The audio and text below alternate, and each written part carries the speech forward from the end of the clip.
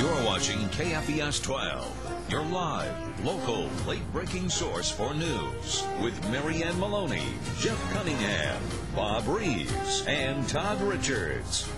Now, Heartland News at 10. Yeah, I, I think golf is just is the perfect fit. Um, you know, for a sporting event to be held downtown.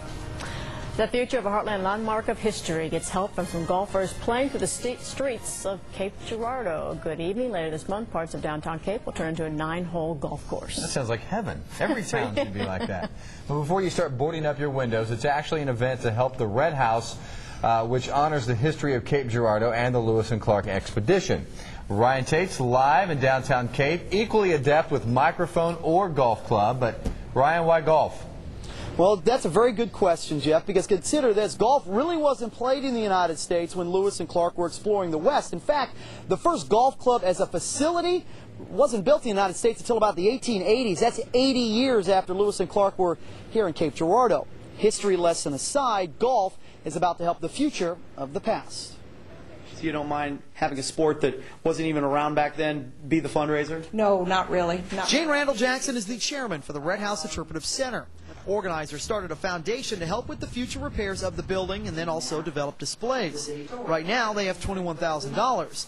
They hope to collect 100,000. I think the uh, the players are going to see lots of, of downtown they've never seen before because Charlie Herbst calls this part of Cape Girardeau home. It's also his ward on the city council. He helped organize the golf tournament to raise money for the Red House Foundation. He also scoped out the holes. Let's go. Show me the golf course. All right, Let's go play some let's golf. go. This. I can't have a coat on.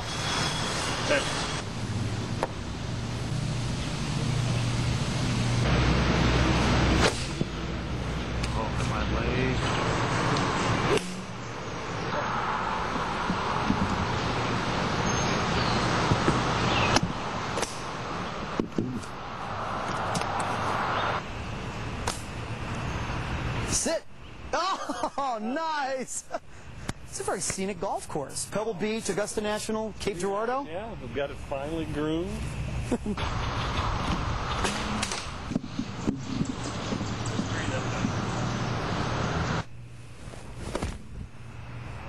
shot. That's a good one. Good shot. Just I'll get on this side. Oh, Ah, thank you. Ooh.